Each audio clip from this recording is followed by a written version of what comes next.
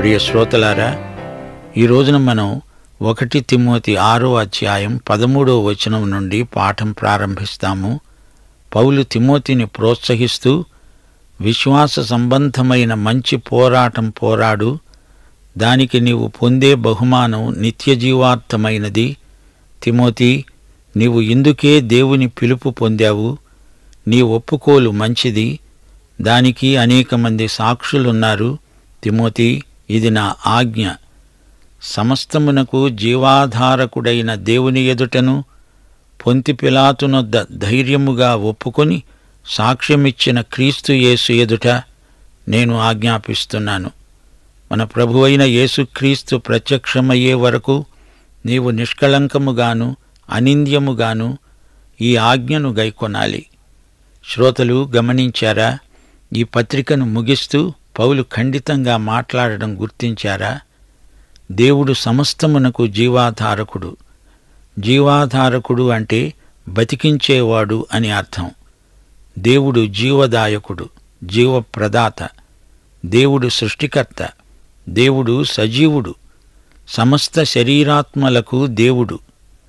జీవం అనే సృజనాత్మక వాస్తవానికి దేవుడే కర్త. అది ఇవ్వగలవాడు దేవుడొక్కడే. క్రీస్తుయేసు పొంతి పిలాతు ఎదుట ధైర్యముగా ఒప్పుకొని సాక్ష్యమిచ్చాడు. ఏమిటి ఆ సాక్ష్యం? పిలాతు ప్రశ్నించాడు యూదుల రాజువు నీవేనా? యేసు అన్నాడు నీవన్నట్లే. యోహాను సువార్త పంతొమ్మిదో అధ్యాయం ముప్పై ఏడు ముప్పై ఎనిమిది వచనాలలో ప్రభు అన్నాడు సత్యమును గూర్చి సాక్ష్యం ఇవ్వడానికే నేను పుట్టాను. ఇందునిమిత్తమే నేను ఈ లోకానికి వచ్చాను.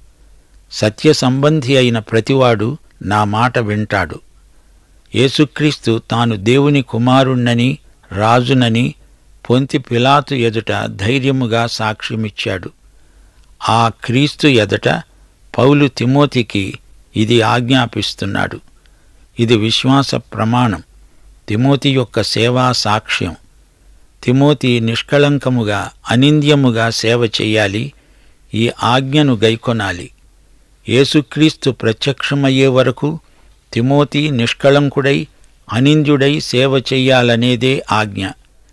యేసుక్రీస్తు రెండో రాకడ నిరీక్షణ పౌలు చేసే ప్రతి పనికి చెప్పే ప్రతి మాటకు ప్రేరణ. పదిహేనో వచనం. శ్రీమంతుడును అద్వితీయుడును అయిన సర్వాధిపతి యుక్తకాలములందు ఆ ప్రత్యక్షతను కనపరుస్తాడు. కనపరిచేవాడు దేవుడు ఆయన శ్రీమంతుడు అనగా ఆశీర్వాద నిధి ఆయన అద్వితీయుడు. ఆయన ఒక్కడే దేవుడు. మరో దేవుడు లేడు. ఆయన సర్వశక్తిమంతుడు జీవాధిపతి.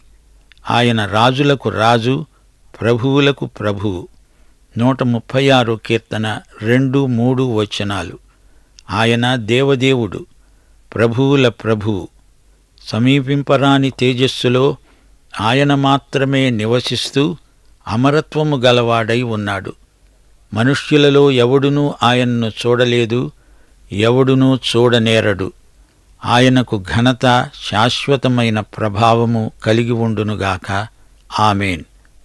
యోహాను సువార్త నాలుగో అధ్యాయం ఇరవై నాలుగో వచనం దేవుడు ఆత్మ.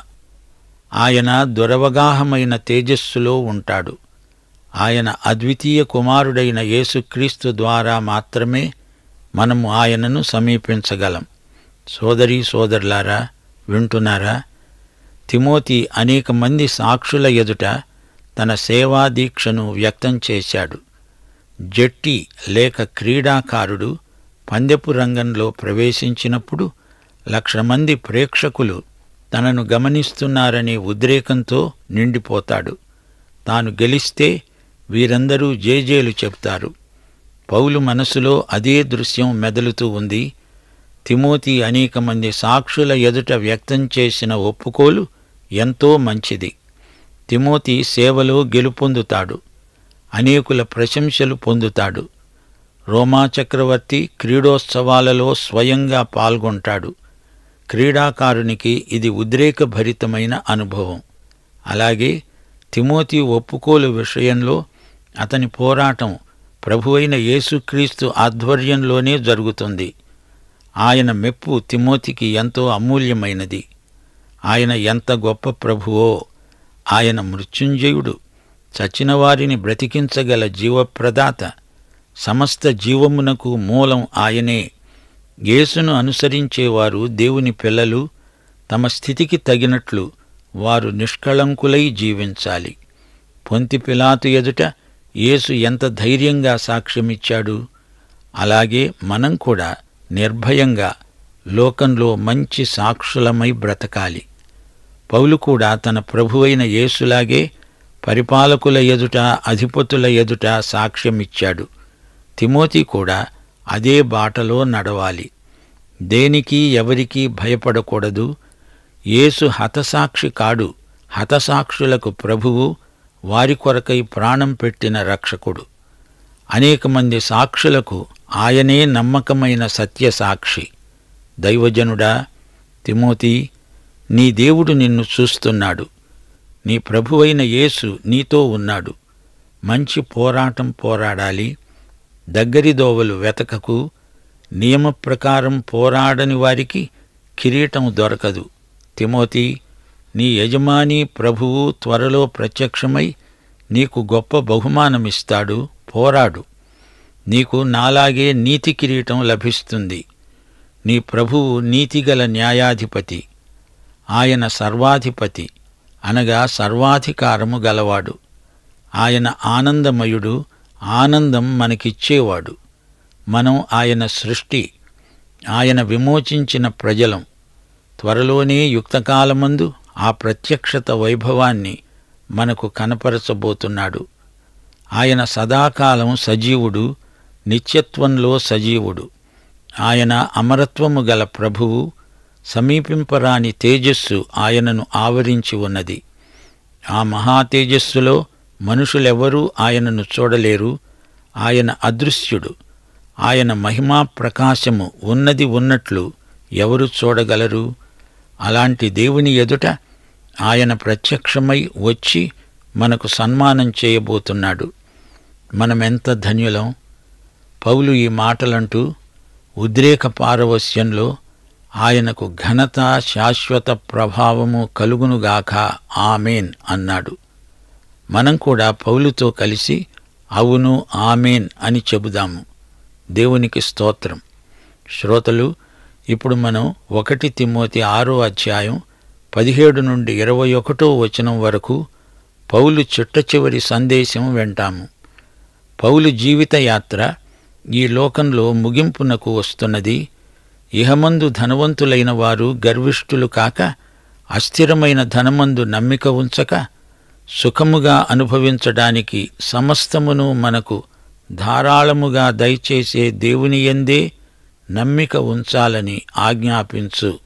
ఇహమందు ధనవంతులు అనగానే మనకు ధనవంతుడు లాజరు కథ జ్ఞాపకం వస్తుంది ఇహలోక ధనం అస్థిరమైనది అస్థిరమైన దాన్ని నమ్మకూడదు. దేవుని ఎందే జీవము గల దేవుని ఎందే నమ్మిక ఉంచాలి. లూకాసు వార్త పదహారో అధ్యాయం పంతొమ్మిదో వచనంలోని ధనవంతుడు బహుగా సుఖపడ్డాడు. ఇరవై ఐదో వచనంలో అబ్రాహాము ధనవంతునితో అన్నాడు కుమారుడా నీవు నీ జీవితకాలమంతా నీకిష్టమైనట్లు సుఖం అనుభవించావు. అవును అతడు అస్థిరమైన ధనమందు నమ్మిక ఉంచాడు. గాని జీవము గల దేవుని యందు విశ్వాసముంచినవాడు కాడు.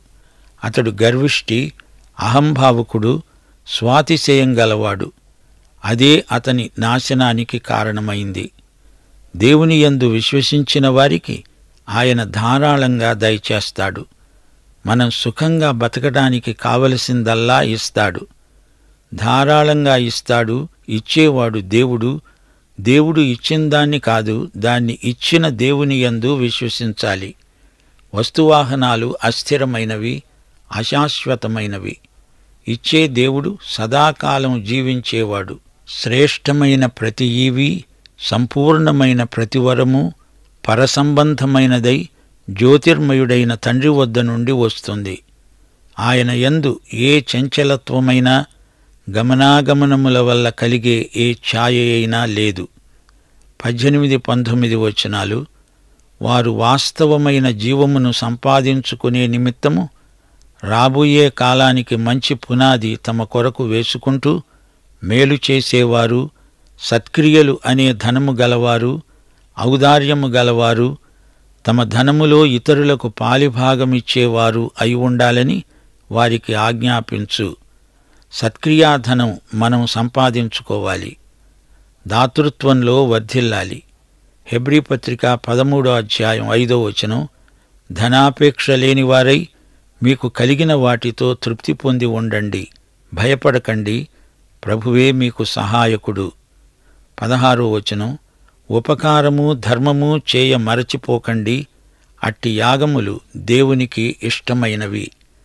రాబోయే కాలానికి మంచి పునాది ఇప్పుడే వేసుకోవాలి. సత్క్రియాధనమే మంచి పునాది. పునాది ఎంతో ముఖ్యమైనది. ఇది మంచి పెట్టుబడి. దేవుని కోసం ఆయన సంఘం కోసం పెట్టుబడి పెట్టిన ధనం బలమైన పునాది. రాబోయే నిత్యత్వానికి ఇది మంచి పెట్టుబడి. ఇప్పుడున్న ఆకాశము భూమి భక్తిహీనుల తీర్పు నాశనము కలిగే దినము వరకు అగ్ని కొరకు నిలువ చేయబడినవై వాక్యము వలన భద్రము చేయబడి ఉన్నవి. ఈ విధంగా ధనవంతులు వాస్తవమైన జీవమును సంపాదించుకోవాలి.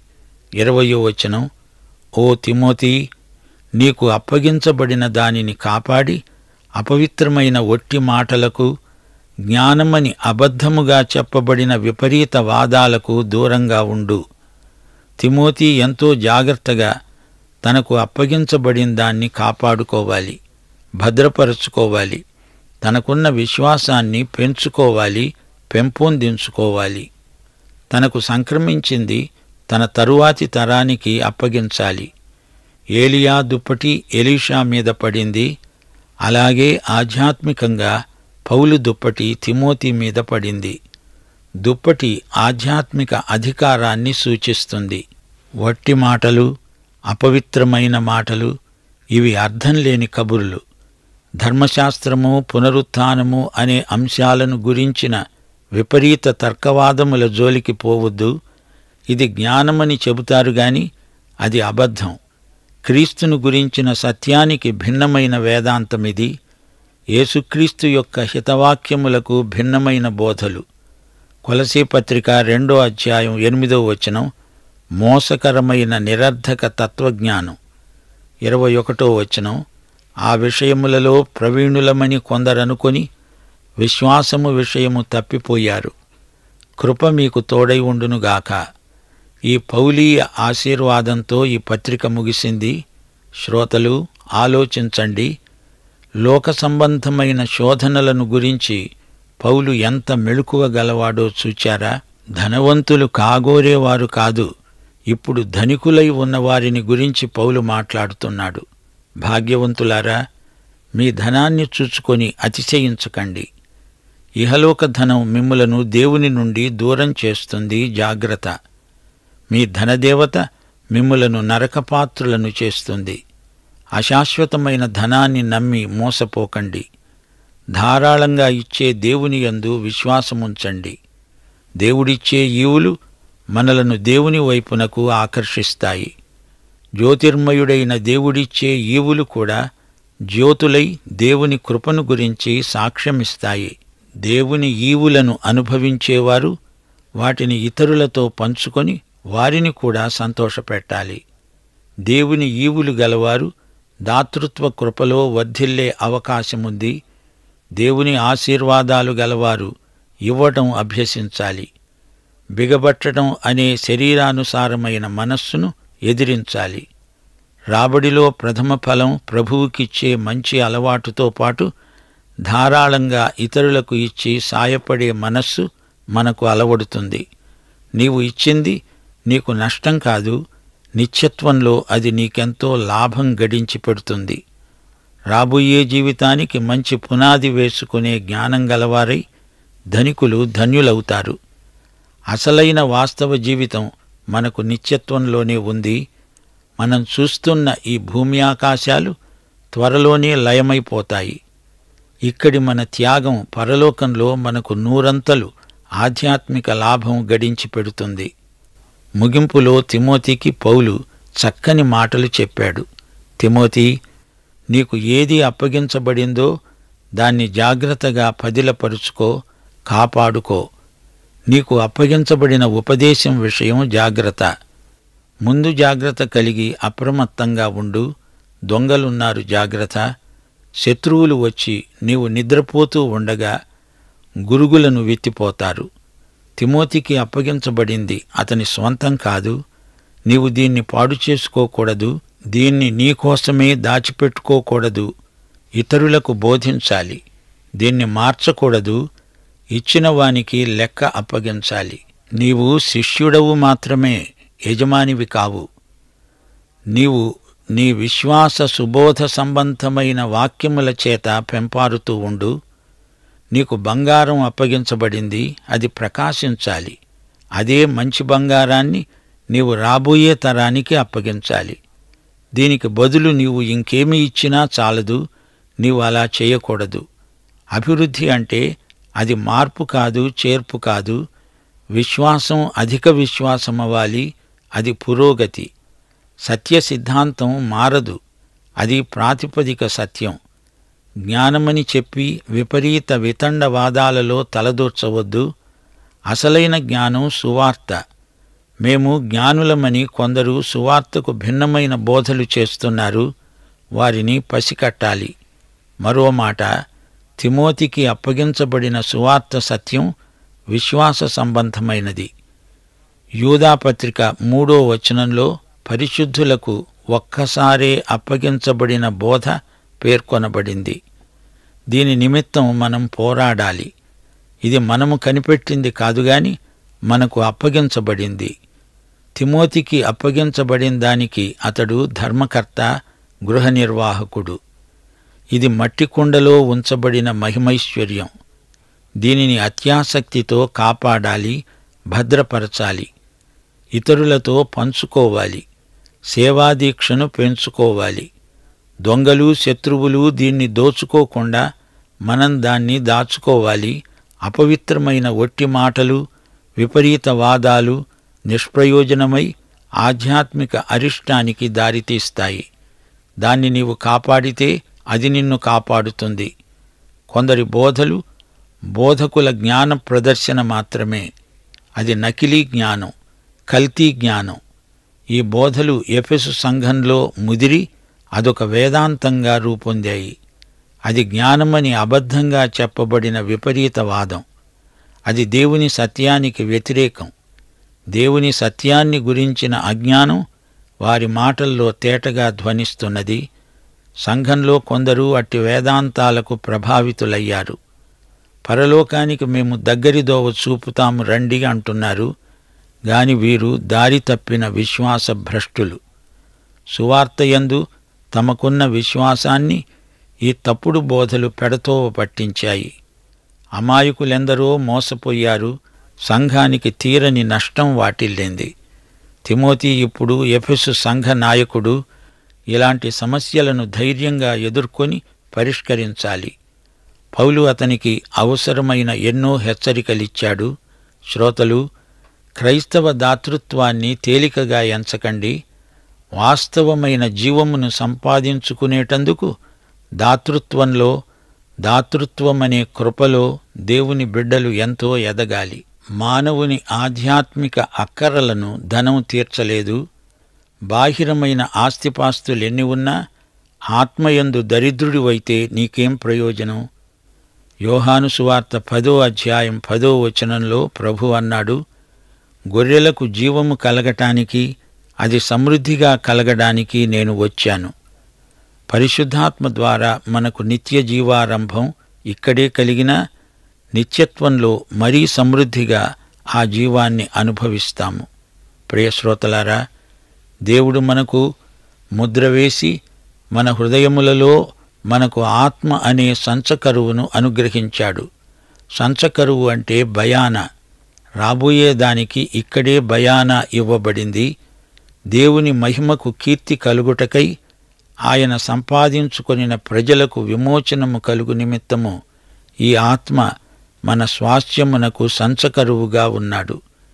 ఎఫెసీ పత్రిక మొదటి అధ్యాయం పద్నాలుగో వచనం లోకంలో ఉండగానే పరలోక స్వాస్థ్యం కోసం పెట్టుబడి పెట్టేవారు అవివేకులు కారు వారికి ఎంతో జ్ఞానం ఉంది. అట్టి వ్యక్తులకు నాయకులకు ఈ పాఠం ఎంతో ప్రోత్సాహకరం. మత్తయి వార్త పదమూడో అధ్యాయం ఇరవై రెండో వచనంలోని హెచ్చరికతో నేటి బైబిలు ధ్యానాన్ని మొదటి తిమోతి పత్రికను ముగించగోరుతాము. ముండ్ల పొదలలో విత్తబడినవాడు వాక్యము వినేవాడే గాని ఐహిక విచారమును ధనమోసమును ఆ వాక్యమును అణిచివేస్తాయి గనుక అతడు నిష్ఫలుడవుతాడు. జాగ్రత్త.